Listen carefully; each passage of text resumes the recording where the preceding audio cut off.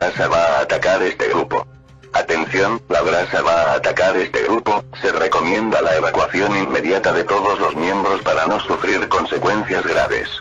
Tras constante monitoreo durante estas últimas semanas la grasa ha dado el veredicto de atacar este grupo y de apoderarse de él.